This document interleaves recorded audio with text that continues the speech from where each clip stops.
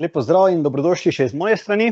Um, torej, tema današnjega predavanja bodo kritične mineralne surovine in pa nova uredba, ki so jo sprejeli v Evropi v zvezi z njimi.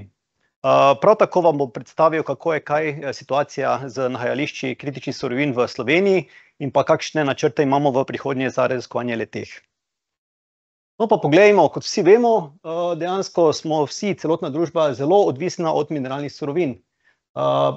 Praktično so povsod prisotni, tako v transportu kot v komunikacijah, in pa samo če pogledamo recimo eno sodobno hišo, en kup enih elementov porabimo, da v bistvu lahko živimo to našo vsakdanjost.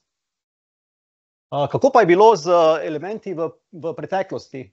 Kot vidimo, se dejansko število elementov, ki se uporabljajo v tehnologiji, iz leta v leto zvišujejo, in če pogledamo recimo od antičnih časov, ko je bilo samo peščica elementov uporabljenih, do recimo srednji vek, srednjega veka in pa potem preboj je bil v nekje v devetnajstem stoletju, ko so se uporabljali res kar ena paleta elementov, do dandanes, ko se praktično uporabljajo bolj kot ne vsi vsi, vse kovine v in pa pol kovine v periodnem elementu. Kje pa dobimo te surovine, ki jih dandanes potrebuje družba za svoj obstoj? ena opcija je seveda reciklaža, ki je nekako najbolj zelena na neki način. Problem je edino ta, da praktično ni za za potrebe, ki jih trenutno družba potrebuje, to ne bi bilo dovolj, da bi se samo recikliralo. No, če pogledamo recimo tukaj v periodnem sistemu, vidimo, da so bolj modre barve tiste, ki se malo lažje reciklirajo, medtem ko pa bolj rumene in pa rdeče so pa tiste, ki se zelo slabo, in vidimo, da dejansko je zdaj en kup enih elementov, ki je zelo težko reciklirati, katerih ali pa se jih je v bistvu ne splača reciklirati zaradi velikih stroškov, povezanih s samo reciklažo. Če pa pogledamo recimo nadomeščanje z drugimi snovmi, je pa tudi podobna zgodba kot z reciklažo. Rdeče so lahko nadomestljive, medtem ko pa zelene in pa zelene so pa težje nadomestljive, in tako da vidimo, da tudi nadomestilo z drugimi snovmi ni neka rešitev, trajnostna rešitev za nas. Zato se na koncu koncev še vedno družba kot taka moramo poslužiti rudarjenja. Torej bistvu, kako so rekli, če ne zraste, se mora izkopati iz zemlje. to je še posebej pomembno dandanes, kajti vemo, da se število prebivalcev eksponentno narašča, in recimo, če pogledamo samo, mislim, da devetnajststo petdesetega je bilo okrog dve milijarde število prebivalcev na Zemlji, medtem ko pa smo zdaj že pri osmih in pa projekcija je, da se bo zadeva še zvišala. prav tako je z uporabo surovin, vidimo recimo, da se bakle eksponentno narašča, dvaindvajsetkrat več bakla se je proizvedlo kot pa recimo sto let pred nami. šestkrat recimo je za faktor šest je za za železo, na primer. no, tega se tudi zavedala, so se se zavedajo države Evropske unije, zato so nekako je nekako ena delovna skupina Evropske komisije leta dva tisoč enajst sestavila prvi seznam kritičnih surovin. samo trenutek. Torej, kaj so kritične surovine? Praktično to so surovine, ki so pomembne za evropsko industrijo in pa dobava katerih je pri današnjih geopolitičnih, ekonomskih razmerah lahko tvegana. tukajle vidimo recimo, od kod dobiva, to je sicer malo se slabše vidi, ampak karta sveta, in dejansko vidimo, da je večino teh kritičnih surovin še vedno prihaja iz Kitajske in pa iz drugih držav ne Evropske unije. Zato se je Evropska komisija odločila, da v bistvu, zakaj pa se potrebujejo kritične surovine recimo dandanes? za predvsem pri prehodu v v zeleno, v v zeleno, kako bi rekel, prihodnost, recimo galij se uporablja za pri fotovoltaiki, litij seveda pri baterijah, ki so vedno bolj pomembne tudi pri mobilnosti, saj nekako industrija gre v izdelavo električnih avtomobilov, tukaj je tudi kobalt in nikelj recimo zelo pomemben. bor se uporablja pri vetrnih elektrarnah, naprimer, wolfram se uporablja in pri, pri telekomunikaciji, pri izdelavi mobilnih telefonov in pa pri razno raznih drugih, drugih rečeh, in pa recimo pri aeronautiki magnezij in pa skandij zelo pomembni. kako je pa bilo, prvi seznam leta dva tisoč enajst, ki ga je sestavila komisija, je vseboval štirinajst surovin, vsake tri leta se je ta seznam dopolnjeval in danes je na seznamu že štiriintrideset takšnih surovin, ki so jih spoznali kot kritične. no, tukaj je seznam, saj ga lahko tudi, si, pogledate na internetu, kaj vse se, kaj vse je gor, v glavnem, bolj kot ne so vse, večina surovin, ki jih je bilo dva tisoč enajst, dodali še so še, so še nekatere nove. v bistvu, kako pa so definirali kritičnost surovin? dejansko so naredili en, en, eno oceno in kot prvi faktor, ki zelo vpliva na kritičnost, je ekonomska pomembnost, torej kje se ta ta kritična surovina uporablja, z vidika končnih uporabnikov in pa, tveganost dobave. Ker veliko držav, iz katerih dobavljamo, imajo ali so politično nestabilna, ekonomično ekonomično nestabilne ali pa so tudi, okoljska, njihova okoljska, okoljska politika ni v skladu z evropsko. tukajle recimo vidimo, ekonomska pomembnost in pa tveganost dobave, dejansko, sicer se opravičujem, je malo na, na, na drobno napisano, ampak, dejansko prikazuje, kako se, določen element, spreminja z leti, mislim, da je to bilo, tri leta nazaj, to pa je danes recimo, ne, in vsaka, vsak element se je tako nekako ocenil in in se je naredil taka, tako nekako ena, splošna ocena. In tale ves del je potem smatran kot kritične surovine, seveda ene par pa jih je tudi novih. no, v letošnjem letu, maja dva tisoč štiriindvajset pa je stopil v veljavo tako imenovani akt o kritičnih, surovinah Evropske unije, ki je, kot sem rekel, bil sprejet, bil sprejet na evropskem nivoju. cilj pa je, da se okrepi vse faze vrednostne verige kritičnih surovin. Torej, v okviru tega, akta je pa seveda za nas geologe pa zelo pomembno, da se devetnajsti člen uredbe tiče, nacionalnega programa za, splošno raziskovanje kritičnih surovin.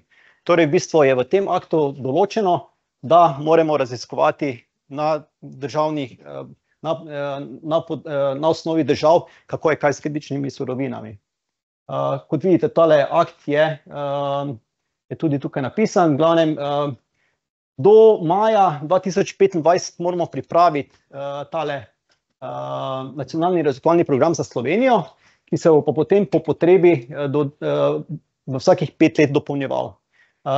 zajemal pa, pa bo kartiranje mineralov, geokemijske kampanje, geofizikalne raziskave, razvoj prognostičnih kart, in pa ponovno obdelavo že obstoječih, geoznanstvenih podatkov. to je vse v bistvu v tem aktu, zavedeno. Kako pa je z, v Sloveniji s kritičnimi surovinami?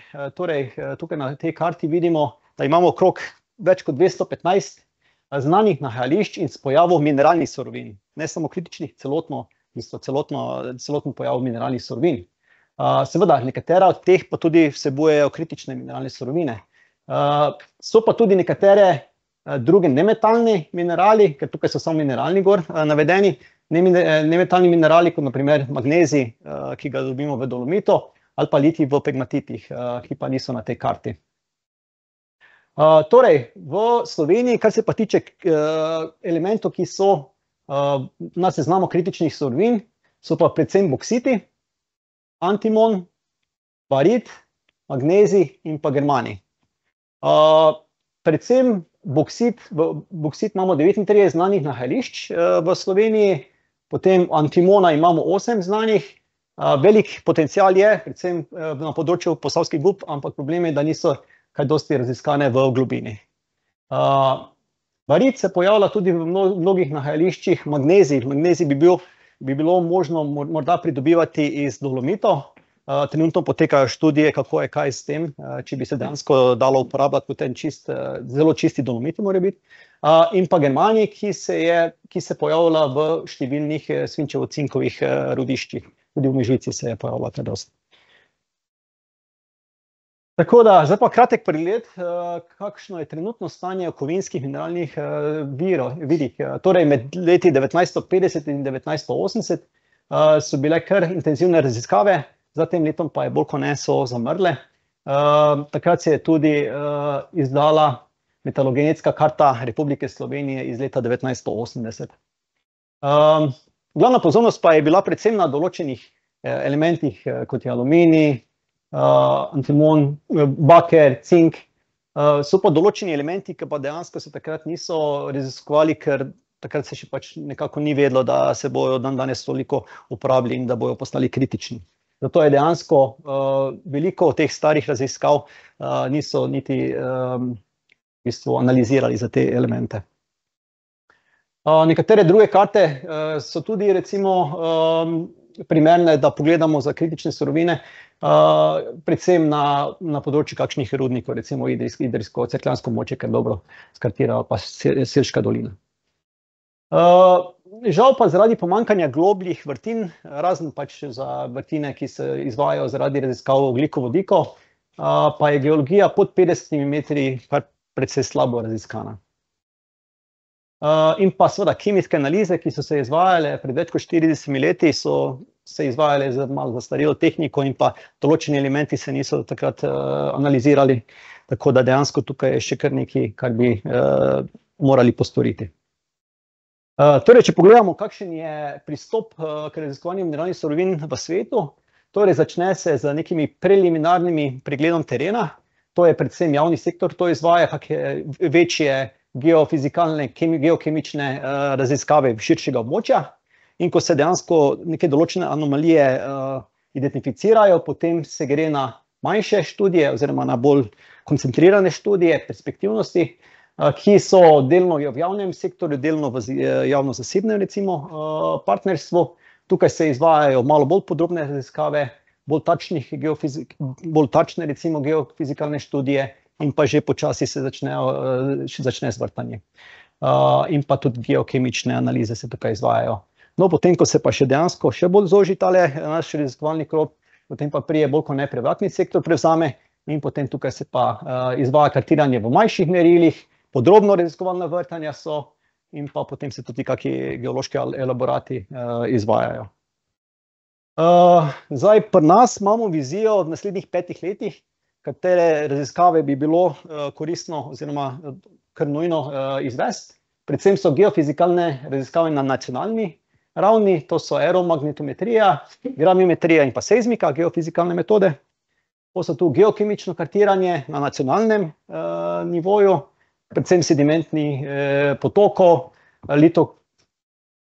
litogeokemija stratigrafskih enot, pol so tu geološke in strukturno kartiranje, to je zelo pomembno, saj tudi tukaj v bistvu bi se dalo kar dosti narediti. litogeokemija, predvsem teh, teh, elementov, ki so pomembni, kot, ki so bili prepoznani kot kritične surovine. ponovno bi se moglo ovrednotiti, že, že znanih perspektivnih rudišč, in pa ustanovitev observatorija za kritične surovine, kjer bi kjer bi bila neka centralna baza podatkov in kjer bi potem tudi, se ocenjevalo in tudi Slovenija bi lahko, z v bistvu s poizvedbo pri različnih slovenskih podjetjih, ugotovili, če je kakšna kritična surovina, ki bi se lahko mogoče pri naslednjem, naslednjem seznamu dodalo. In pa posodobitev državnih strategij in drugih, povezanih dokumentov, to je tudi potrebno. Tu je tudi, pomembno sodelovanje z našimi, sosednjimi državami in državami v regijah, saj vemo, da geologija, nekako, ne sledi tem državnim mejam, zato je zelo pomembno recimo, da se določena območja raziskujejo, v sodelovanju z drugimi, državami. torej v zaključku bi samo pač rad, poudaril, da naravni potencial za kritične surovine v Sloveniji obstaja, pa gospodarstvo mora temeljiti na domači slovenski bazi, ker smo videli pač določeni uh, dogodki v preteklosti, kot je COVID ali pa recimo tudi pač te vojne vidijo, se vidi, da se dejansko ne moramo zanašati uh, na uh, uvozu določenih surovin, zato tudi moramo delati vedno bolj na tem, da si pač, uh, da smo samo uh, oskrbovani z temi surovinami. Uh, torej, vedenje o domači uh, slovenski bazi je nekako nezadostno, predvsem v globini. To je potrebno kar veliko, da se v bistvu razišče, kaj se dogaja recimo pod 50 metri. In pa seveda, rudarstvo je bilo že zdaj kar precej dolga leta nekako potisnjeno v, na stranski tir in upajmo, da se bojo pač z temi dogodki zadeve malo izboljšale na tem področju.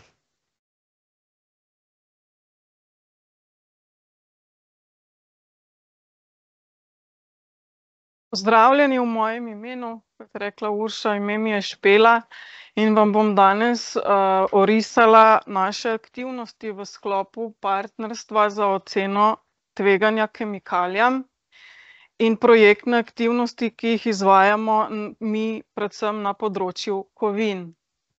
Zdaj, Najvišji cilj tega partnerstva je uveljaviti Evropsko unijo kot mednarodno gonilno silo za oceno tveganja izpostavljenosti kemikalijam in sicer za optimalno zaščito zdravja ljudi in okolja.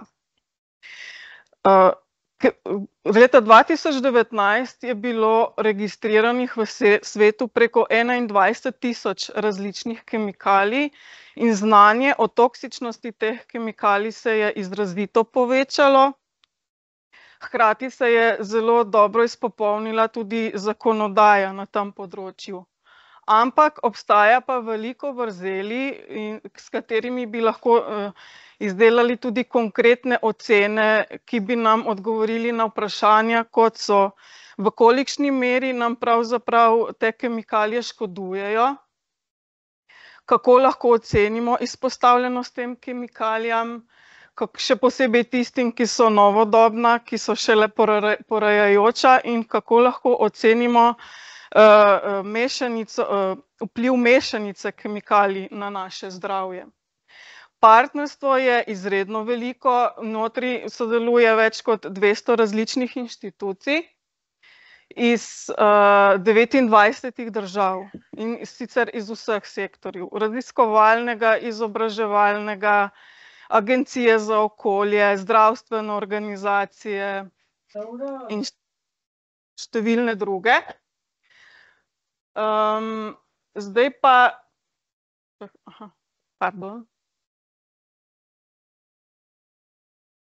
Raziskovalnih izzivov znotraj partnerstva je zelo veliko. Kot vidite, je partnerjev tudi precej. Če vam jih naštejem, vsaj nekaj raziskovalnih izzivov so, kot sem omenila, vzpostaviti nove metode za oceno tveganja, kajti v preteklosti so bile ocene tveganja narejene zelo fragmentirano, sedaj pa želimo vzpostaviti novo generacijo, ki bo zajela celoten snovni tok posamezne substance, ki vam ga bom orisala nekoliko kasneje.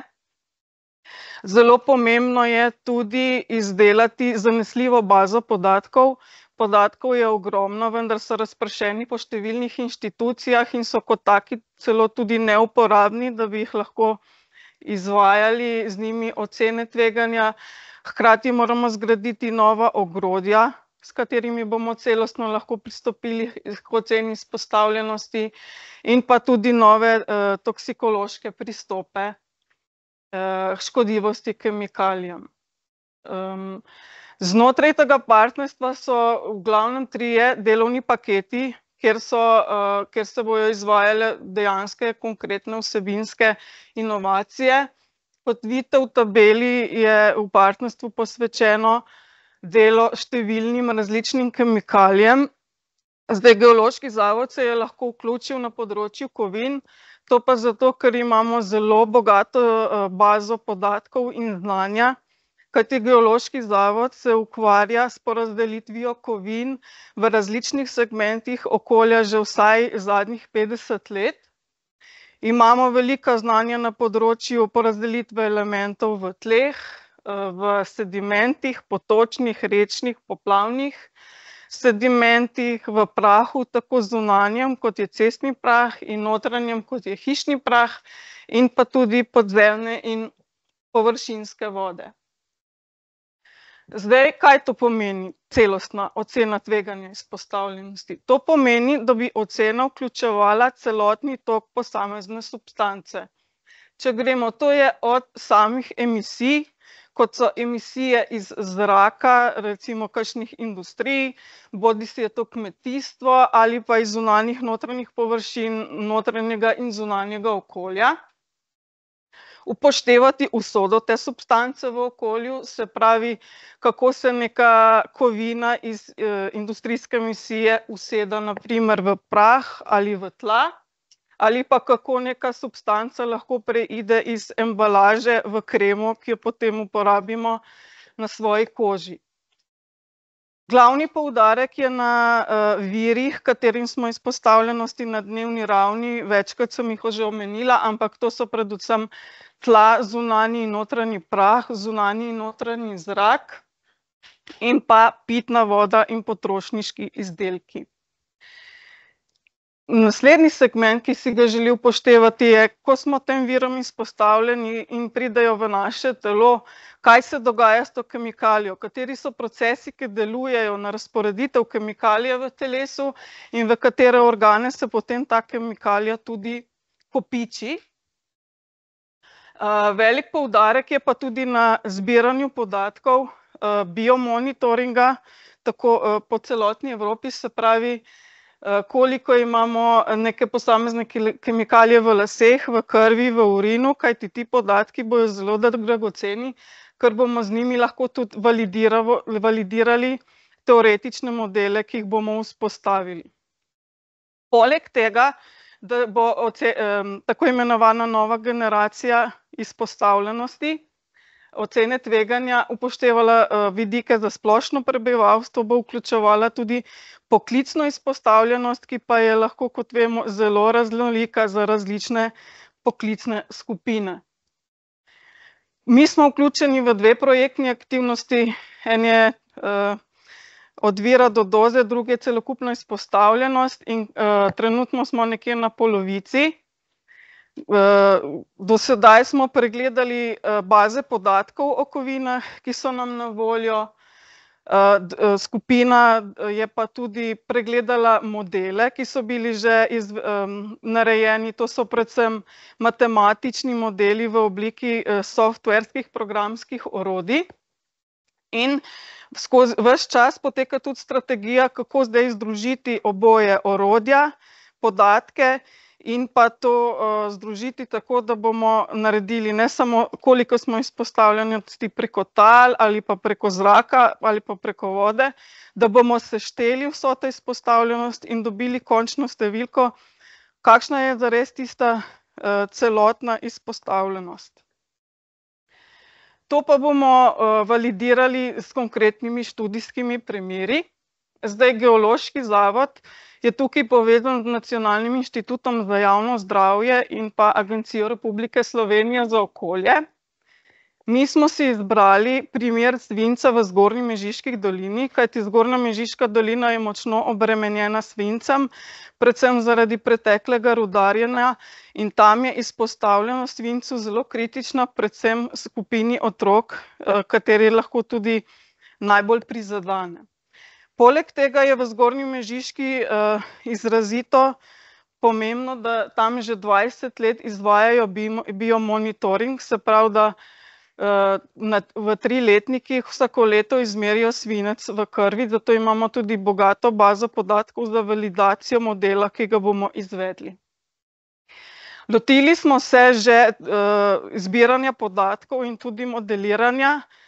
a imam tule kakšno, sicer Nacionalni inštitut za javno zdravje bo podal tudi je zbral podatke o svincu v prehrani, tako iz slovenskega trga kot tudi iz lokalnih pridelkov in pa tudi svinca iz keramike, imamo podatke o svincu v pitni vodi iz tistega kraja, iz zunanjega zraka delcev PM deset, iz hišnega prahu in pa tal.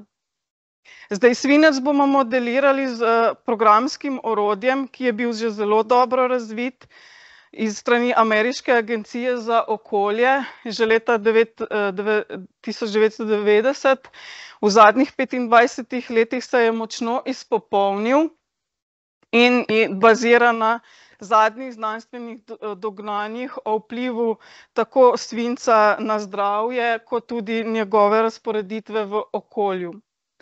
To je tako imenovani integrirani model izpostavljenosti za svinc v krvi otrok. Skupina strokovnjakov, ki vodi ta projekt, pa se je odločila za prioritetno kovino tudi kadmij, ker smo se tudi vključili iste organizacije.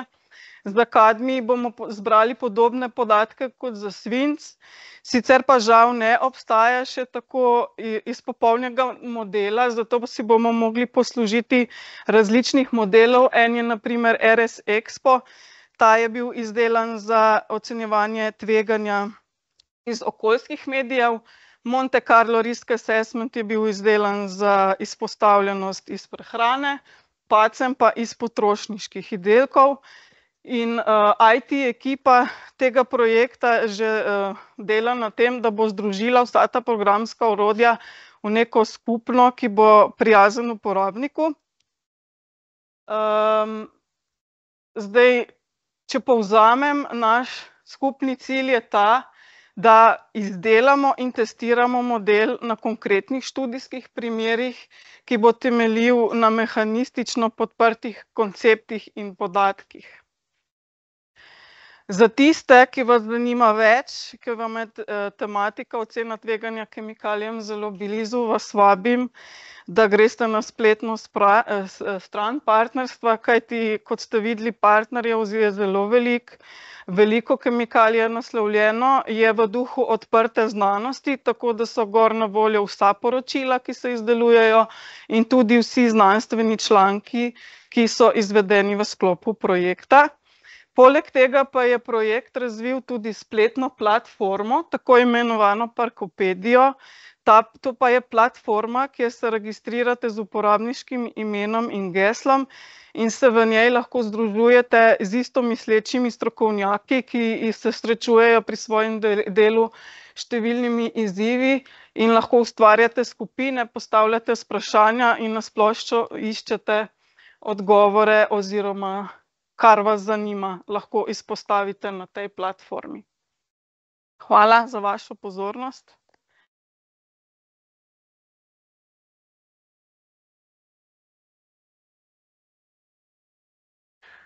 Lep pozdrav, jaz vam bom povedal nekaj več o geotermalnem potencialu v Sloveniji.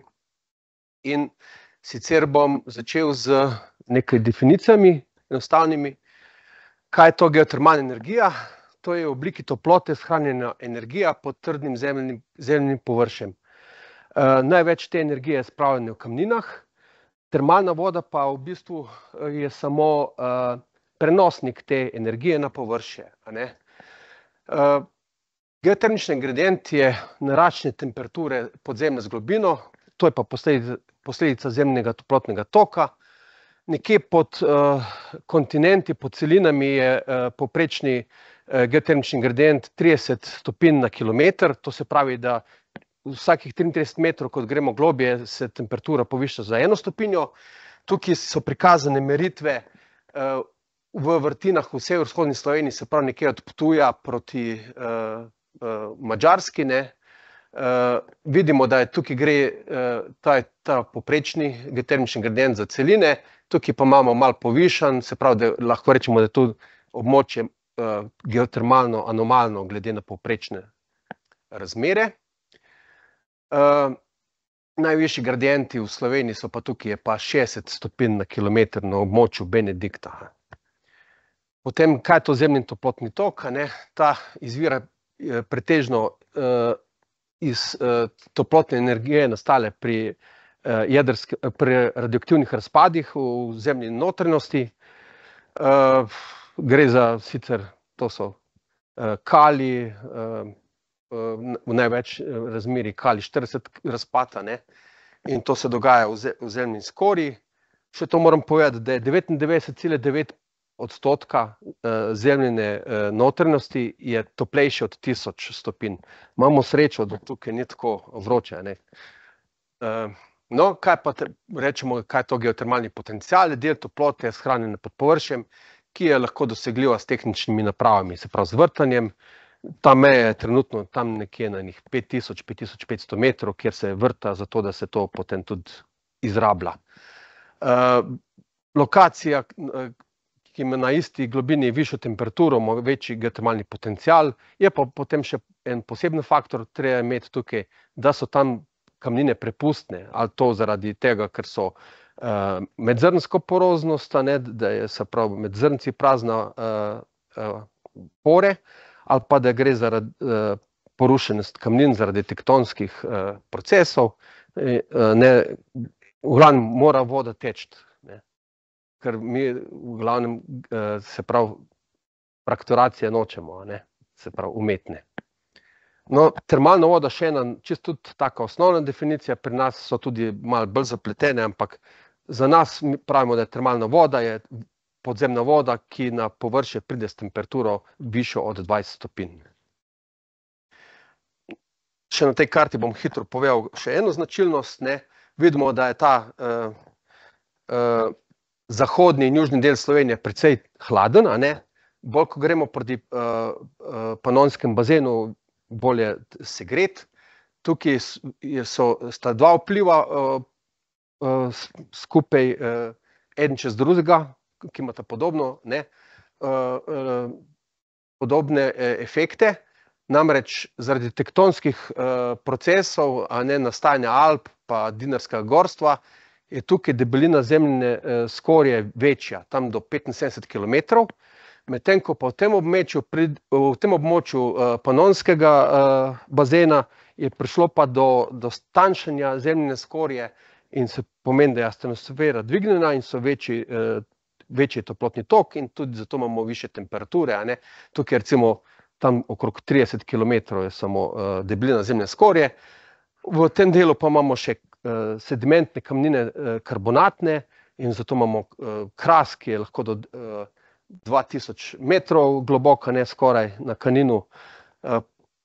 Zdaj v Bohinju so prav pred kratkim odkrili novo jamo, globljo od tisoč metrov, a ne, na severnem grebenu Črne prsti, Rodice. Tako da na tisoč metrov globine je tam temperatura ista kakor na, na, na vrhu hriba, ne, se pravi, je gradient recimo, da je ena ali pa dve stopinji na kilometer, če pa bi vrtali nekje v Bovcu, a ne, pa bi mogoče bil gradient okrog petnajst stopinj na kilometer, a ne, v dnu Bovca, ne. Tako da za geotermijo mogoče tukaj glih ne bi, če, če ne pride sama ven kot na Bledu. Naslednjo. No, vse te podatke predstavljamo, da si lažje znamo predstavljati, predstavljamo na kartah. Osnovni parametri toplotnega toka sta temperatura in gostota toplotnega toka. Ne, tukaj vidimo gostoto toplotnega toka, ki pokaže zelo podobno sliko kot prej temperatura, ima pa še določene anomalije, ne. Potrebni podatki se dobijo z meritvami v vrtinah, recimo tako merimo temperaturo v vrtinah ali, ali pa za toplotno prevodnost kamnin in sedimentov pa merimo na jedrih oziroma kar direktno na izdankih. Te kamnine ali sedimente segrevamo in potem njihov odziv na to segrevanje pa nam pove, kakšna je toplotna prevodnost. In te karte se uporabljajo za načrtovanje raziskav za rabo geotermalnega potenciala. Kot vidimo, gostota toplotnega toka je tukaj milivat na kvadratni meter, Sonce je v, ima tisoč tristo vatov na kvadratni meter, tako da se kar mirno uležite na površje tal, ne bo vas ožgalo, ne, mogoče vas bo zazeblo po enem času.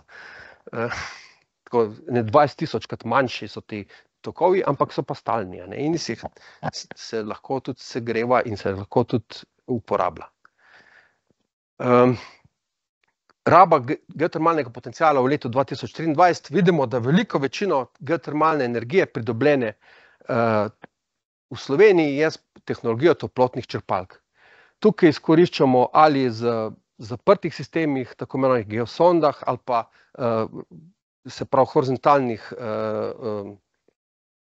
vertikalnih ali horizontalnih zaprtih sistemih, ne, ali pa s pomočjo toplotne črpalke, da črpamo vodo iz vrtine in jo potem vračamo, vzamemo samo temperaturo, vidimo, da to močno narašča. Raba termalne vode pa več ali manj je bolj stagnira, a ne, se pravi, da tudi to pomeni, da je to verjetno zelo posebna zadeva, da ni povsod prisotna, namreč kar se tiče pa toplotnih črpalk, jih pa lahko imamo ali v Kranjski Gori ali na obali ali v v severovzhodni Sloveniji, ne, povsod lahko izkoriščamo. Treba še povedati tudi to, da zgornjih nekaj deset metrov pa se je ta toplota, ki jo zadržujejo, zelo velikokrat gre za, v veliki meri je to toplota sonca, ki poleti pač segreva to, se z deževnico akumulira v plitvi pod zemljo in pač pozimi pač nazaj oddaja, ne, to je sezonsko spreminjanje temperature tal, ne. In večinoma se s toplotnimi črpalkami izkorišča to toploto sonca, ne v bistvu zemljin toplotni tok. In tukaj vidimo, da smo glede na gospodinjstvo, ne, po koliko koliko toplotnih črpalk na gospodinjstvo imamo vgrajenih, smo kar precej visoko, ne, primerljivo z Nemčijo, Francijo, ne, Švedi so daleč pred nami, jasno, absolutne številke, ne, so pa pol Nemčije recimo tam šestdesetkrat večje, ne, če tako. In zato je to toliko o toplotnih črpalkah, več vam povedal pa še o teh rabi geotermalnega potenciala iz termalne vode. Vidimo, tudi tukaj, da je večinoma lokacij v vzhodni in severovzhodni Sloveniji in da, ne, tudi po barvi sodeč, ne, kot vidimo, bolj ko gremo proti severovzhodu, višje so temperature te vode, ki pride na površje. Trenutno izkoriščamo termalno vodo za različne namene, za rastlinjake, za individualno ogrevanje prostorov, za procesno toploto, v Lendavi celo za taljenje snega, ne, sicer ga je bolj malo, ampak ja. Izkoriščamo to na tridesetih lokacijah s petdesetimi vrtinami pa na štirih lokacijah tudi voda sama pride ven, recimo, ne, v izviru, v termalnem na Bledu, Topolšici, v Dobrni pa v Šmarjeških Toplicah. in vse te, teh trideset lokacij pa je, lahko rečemo, da je to ta termalna voda prihaja iz nekega geotermalnega sistema, ki mora imeti nekaj nekaj parametrov, da, da, da to sploh lahko nastane, vir toplote mora biti, ne, to smo rekli, da to je zemljin toplotni tok, to je. Potem mora biti prisotna primerna rezervoarska kamnina, to pomeni, da mora biti spodaj poroznost, prepustnost in pa da mora biti ta vse nasičeno s podzemno vodo, ki potem toploto na površje lahko prinese. In zelo fajn je, če je nad tem tudi neka slabše prepustna kamnina, ki onemogoča, da da padavinska voda neposredno gre globoko v v podzemlje, kajti s tem hladi potem tole in ne omogoča nastanek termalne vode. To je ta območje, ki smo že prej pokazali od, ne, ker ni ni nekega recimo pod Flišem je mogoče dobiti termalno vodo, nad Flišem, kjer so pa samo karbonati, pa ne, ne. in kako to iščemo, te strukture, ki so dovolj prepustne, da vsebujejo podzemno vodo, razen tam, kjer je bil včasih sam naravni izvir, ne, je potrebno imeti neko znanje od geološkega kartiranja, ki je prva stvar, ki jo geologi pač moramo narediti, oziroma najprej pogledamo karte in potem naredimo neki program raziskav. Za take globine dva, tri kilometre, kjer bi temperatura bila med šestdeset in osemdeset stopinj, je potrebno izvesti geofizikalne raziskave, to izgleda tako, da z nekim strojem, vibratorjem povzročimo tresljaje na površini. Ti tresljaji grejo globoko v zemljo, ne, in se odbijajo od meja med različnimi eh, geološkimi kamninami, med peskom in glino, med glino in eh, apnencem, se odbija in potem grejo nazaj gor, kjer pa to prisluškujemo ne, s, s, tako, s tako linijo geofonov in potem to vizualiziramo na, na računalniku, obdelujemo in dobimo s, s, s potresnimi valovi, nam pokažejo, kakšna je struktura uh, podzemno do globine 3-4 km, odvisno kak, kakšen smo naredili tale presljaj. Več, ko damo energije, globi lahko gremo, in potem se odločimo, kje bomo vrtali, in gremo vrtati. Ne? Vrta se 24 ur na dan, ne? tudi po noči. Tako, na, na splošno v Sloveniji imamo tak, tri sklope teh različnih geotermalnih sistemov. To so prvo so sistemi s toplimi zviri, ki so tukaj pretežno v osrednji Sloveniji. Ne? Najprej je bil tukaj uh, termalni zvir, ki so ga potem uh, ne prezejeli. Ta termalni zvir je bil doskrat vplivan strani rek uh, pa drugih pripovršinskih voda, zato so šli takoj vrtati zraven, pa potem nekateri teh izvirov so presahnili. Ne? Recimo taki primeri, kako, ki tukaj govorim, so Dobrna, Laško, Rimske toplice, a ne pa Bled. Drugi, in to, ta voda je večinoma pitna, temperatura je 20 do 50 stopinj, če več vode odzamemo, izviri presušijo, pa potem začne pretekati strani hladna voda in takoj nas prisili, da uskladimo odzem z naravnim dotokom. Ne.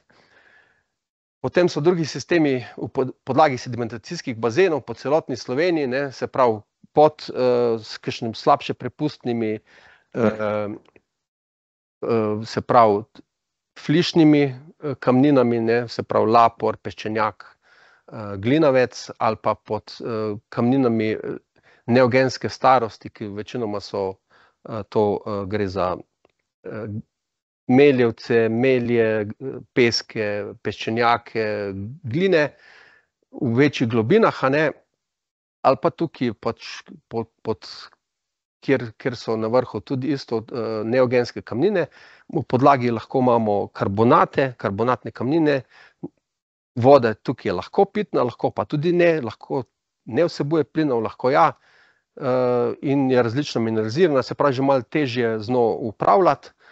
Eh, če je prevelik odzem, se pač zniža eh, gladina vode v vrtinah, v vodnjakih, in potem rabimo več elektrike, da spet načrpamo vode, vodo gorne, dokler pač se nam ekonomsko več ne splača in moramo spet uskladiti rabo z naravnim dotokom. Uh, tukaj, tukaj je renekcija tvegana, ker če voda sama teče na zgor, je težko noter vodo vračati, tukaj je pa odvisno tudi od, sistema, od sistema samega, nekje lahko vodo vračamo, pa jo še ne, nekje pa tudi tukaj vode ne, ne moremo vračati. Ne. Potem so pa to še sistemi ter, geotermalni v sedimentacijskih bazenih v vzhodni Sloveniji, to je tako imenovan sistem murske formacije, to je en pesek v deltnem čelu, ki je zasipaval to panonsko jezero. Uh, in te peski so zelo dobro prepustni, vendar pa so zelo drobni. Uh, tok je zelo počasen, se pravi, tudi napajanje omejeno. Prej, mislim, v to brez uh, reinjekcije, brez vračanja vode, ki jo najprej načrpamo, odzamemo toploto, vrnemo ohlajeno nazaj skozi drugo vrtino, je tukaj, mislim, o trajnostni rabi ne moremo govoriti, če ne vračamo. Uh, to, so pa recimo, to so vsi ti prekmorski, od Ptuja, uh, Lendave, Dobrovnik, Moravske toplice, Banovci, Mala Nedela, ne, se pravi, so, vse ti spadajo tukaj zraven. Uh, o elektriki pa še le govorimo, zdaj se trenutno smo v fazi, ker se pa res nekaj dogaja. Uh, najviše temperature, če pogledamo karto, uh, pričakovane temperature na globini 4000 metrov, je v tem delu južno od Lendave. Pričakuje se, da je tukaj temperatura više od 200 stopinj. Te vode so zelo kemijsko, zelo uh, mineralizirane, z veliko plina, se pravi, treba vodi, tej vodi samo toploto oduzeti in jo vračati nazaj. In to se dogaja v binarni geotermalni elektrarni, kjer na izmenovalcih toplotnih ogrevaš nek drug fluid, ki potem poganja turbine.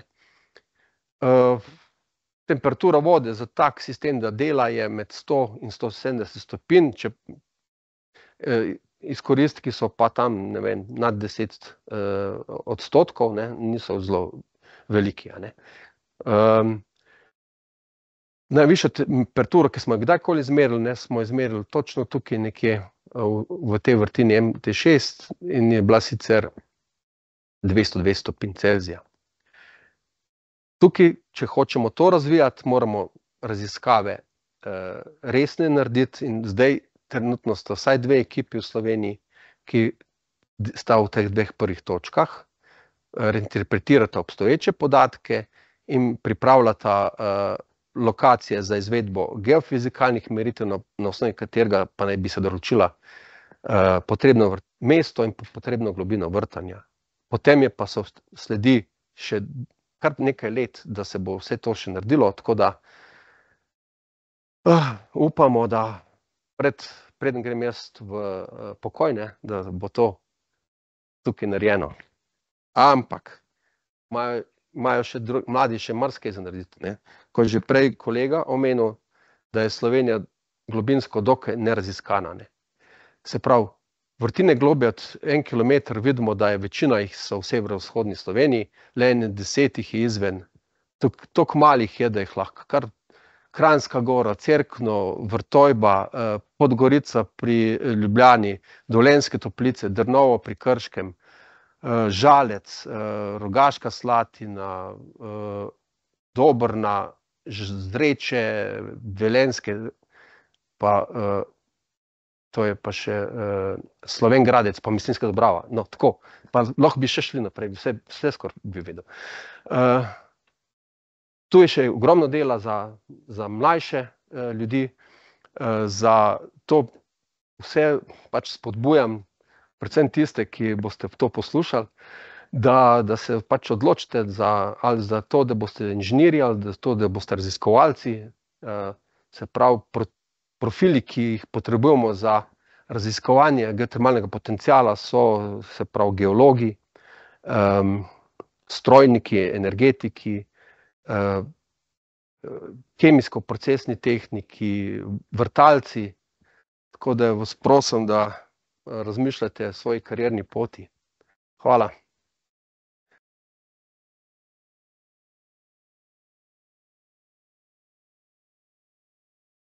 Ja, lepo zdrav tudi z moje strani in strani celotne ekipe Geološkega zavoda, ki sodeluje aktivno v projektu PANAV Geo najprej upravičilo z moje strani, da se tako le javljam na oddaljen način, če tako rečem.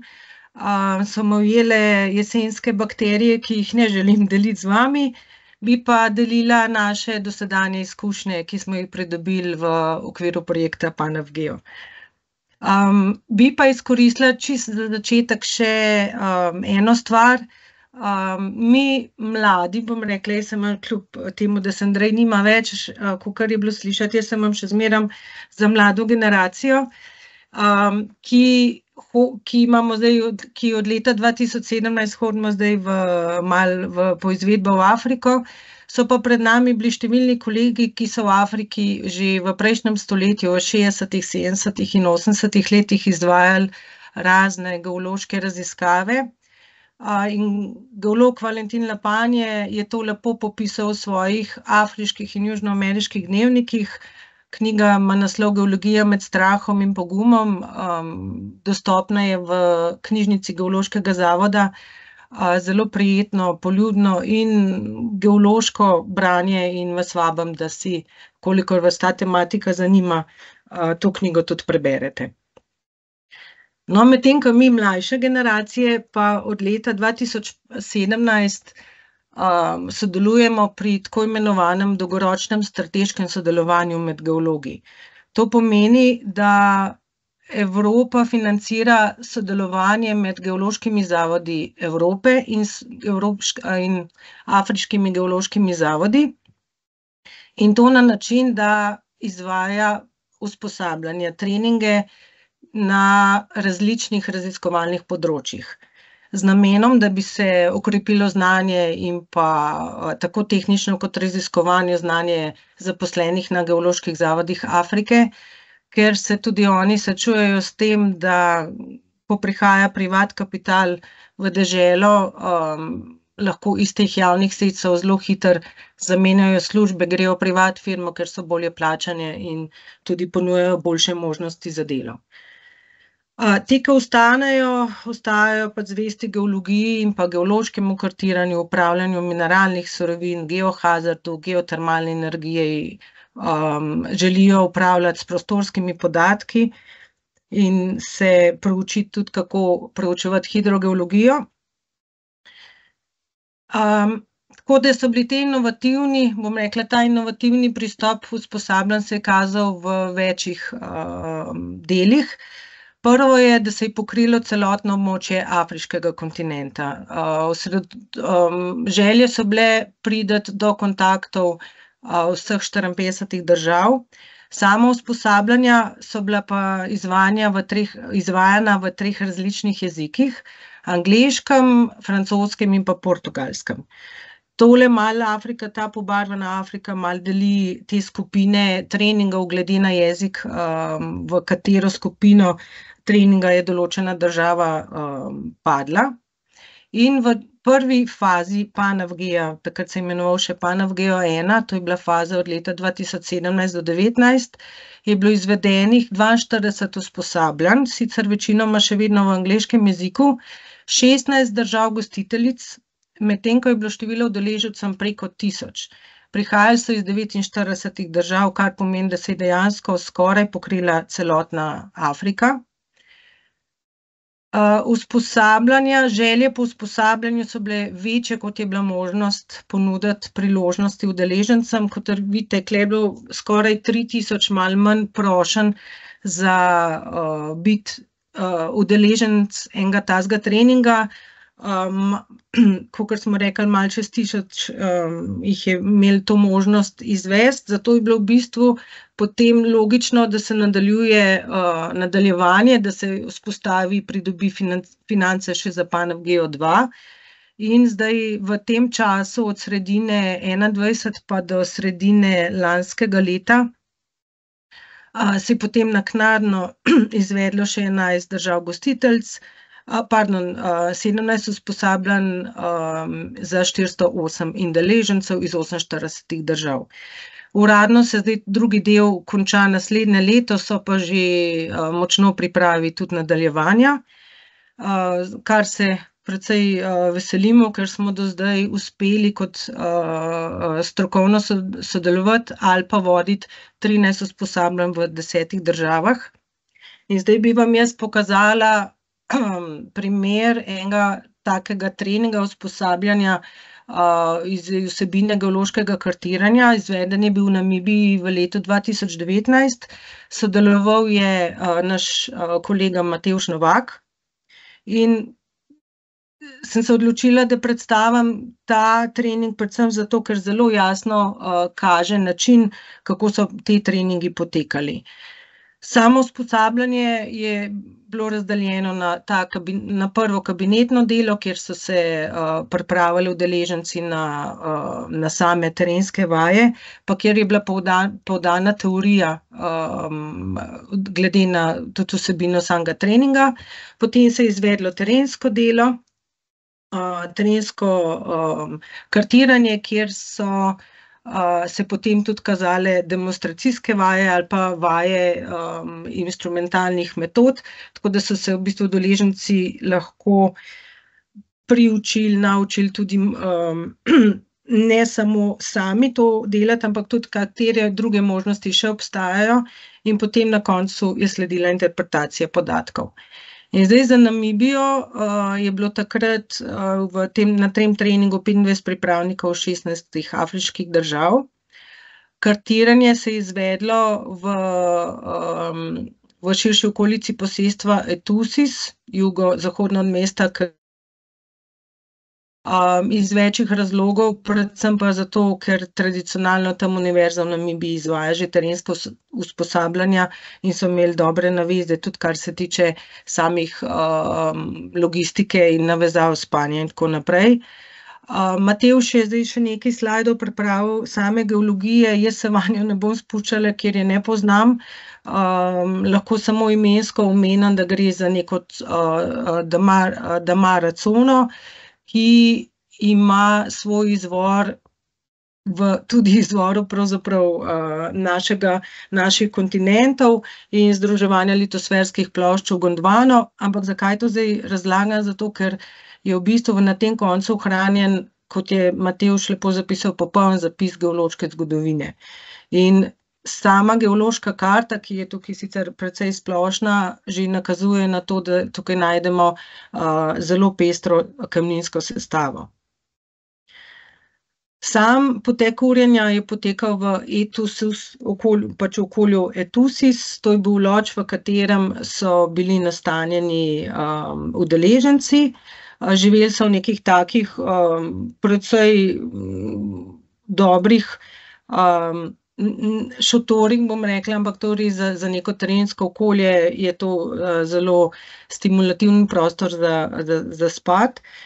Ker oni so potem to območje razdelili na šest enakih kvadratov, razdelili so se skupine in vsaka skupina je potem predelala, šla čez čez vsak tak kvadrat, zato da se je seznanila z možnimi geološkimi stanji, na katere lahko na terenu naletiš. Imeli so v ozadju tudi satelitske posnetke, to je pa recimo ta pokrajina, po kateri so oni kartirali. In projekt jim je omogočil neke manjše stvari, ki so jih lahko uporabili za namen samega kartiranja. zdaj pa še nekaj posnetkov iz samega terenskega dela. To so bile skupine, ki so potem bile, vsaka je imela svoj kvadrant čez in začele so se diskusije in pogovori o tem, kako je treba stvari pokartirati. Tole zadnja slika pa kaže našega Matevža, ki sočasno z udeleženci tudi sam opisuje in geološko kartira. Pol pa še par slik samega terena, na katerem so pravzaprav delali, to so slike Marmorjev. tudi Marmorji se precej izkopavajo v kamnolomih, ki so pretežno v lasti Kitajcev. Potem so tukaj slike Blesnikov, ki imajo potem različne primesi kristalov, tole na desni strani. In potem recimo primer Ignajsa, kjer se lepo vidi, kako se je v bistvu, kako so bili, kako so različne spremembe vplivale na različno usmerjenost laminacije. ko sem vprašala Matevža, kaj je pri geologiji Afrike oziroma, pardon, Namibije najbolj fasciniralo, je rekel to, da se vse vidi. Da se vse vidi, da da da so vse kamnine na površju razkrite, kar je precejšnje nasprotje z geologijo v Sloveniji. in pa da je precej majhna oziroma minimalna količina kvartarnih sedimentov prisotna v okolju. In zelo je bil navdušen tudi nad pegmatitnimi žilami, ki jih je tukaj še posebej prikazal. No, in potem po takem terenskem ogledu in kartiranju je, je rezultat dela to, terenska karta. Ta terenska karta je bila podkrepljena potem še s terenskimi točkami, opazovalnimi točkami, na katerih se je popisala litologija in pa strukturni elementi. In uredila se je potem v tabeli, v Excelu, takale tabelica, kjer so bili ti podatki zabeleženi. naredile so se tudi določene strukturne analize in v pomoč so jim bile tudi satelitske slike za metode daljinskega zaznavanja, predvsem za namene, da so lažje sledili pa, pa določili litološke kontakte. In potem končna karta, tako s profilom kot legendo, ki je bila na koncu pri čisto, čisto povsem na koncu prenesena tudi v digitalno okolje z odprtokodnim sistemom QGIS. in na koncu, po uspešno opravljenem delu so udeleženci seveda prejeli tudi, certifikat. Na ta način, to je bil zdaj zaključek treninga, na ta način so potekali pravzaprav vsi treningi. Imeli vsi na začetku neka predavanja, neko podajanje vsebin, kakor ste tudi danes, recimo so bili primer prvih treh predavanj, in potem se je, šlo s celotno skupino na teren, kjer so se poskušali določeni,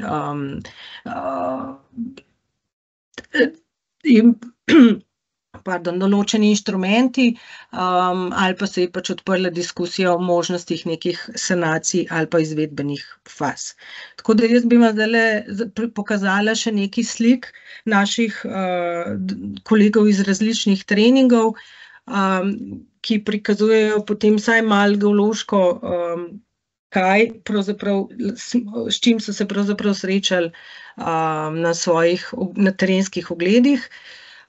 To je kamnolom Tufa, ki se zelo vidi, da so, pobočja, teh, teh kamnolomov zelo nestabilna, se pa jasno vidi, da je šlo za zelo pestro, geološko zgodovino. To je posnetek iz kamnoloma v Kamerunu.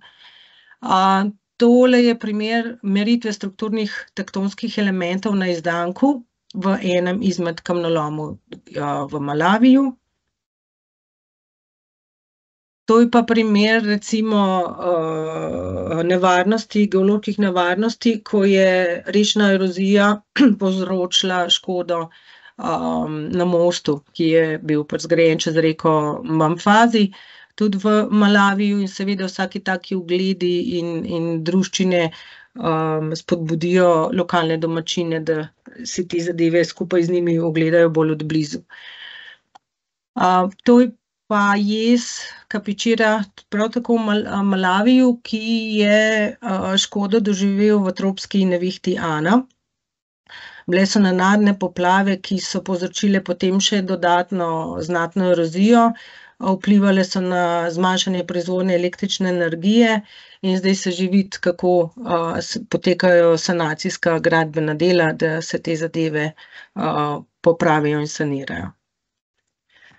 To je primer, kako so se izvajale, geomehanske, klasifikacije na terenu. Tukaj smo sodelovali skupaj z italijanskimi kolegi iz Ispre. Ker nikoli ni bil na treningu samo Geološki zavod Slovenije, vedno so bili kot trenerji, so smo med sabo sodelovali še z drugimi geološkimi zavodi, Italijani, Portugalci, Poljaki, Čehi in tako naprej. Tako da smo se učili tudi en od drugega. to je primer plazu, plaz Skindiro, in je bila potem, razprava o tem, kakšne so možne sanacije tega plazu. to je pa preden so se, preden se je ekipa spustila, v rudnik, rudnik kasitarita Rotongo. Pred prehodom so bili seveda seznanjeni s tem, kako rudnik deluje, kako pridobivajo, kasitarit in pa kakšni so seveda varnostni postopki pred vstopom v sam rudnik. Po prihodu nazaj, vmes je deževalo, so mogli malo, pomagati, vozniku, da so se potem lahko varno odpeljali tudi domov, kar se lepo kaže, neko timsko delo. to je zopet to so zopet slike iz geološkega kartiranja, in pa v pomoč lokalni, otroci so prišli v v pomoč in pa v učenje. In pa potem, živahne razprave in interpretacije geoloških, opazovanj po samem, po samem terenu.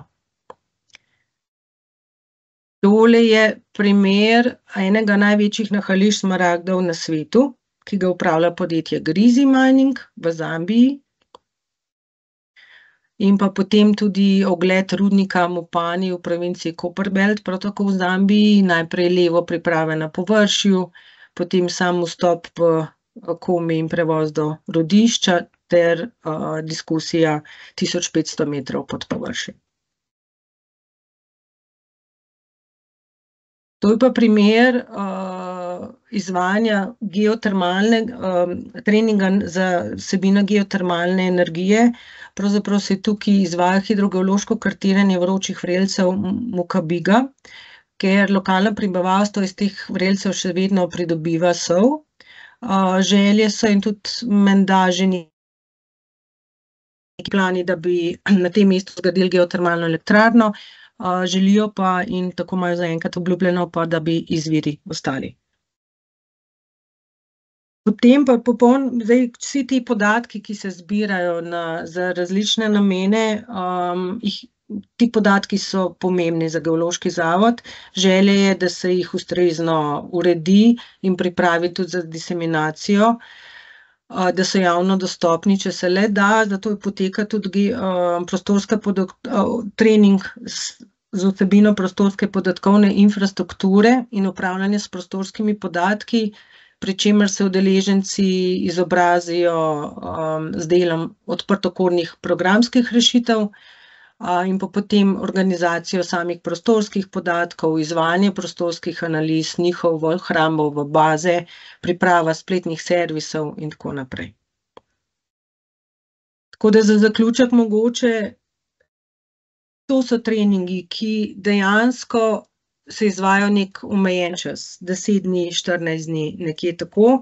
Ampak ne glede na vse, um, ima PANAVGEO že, že do sedaj kar velik vpliv, um, oziroma so te vplivi tudi merljivi.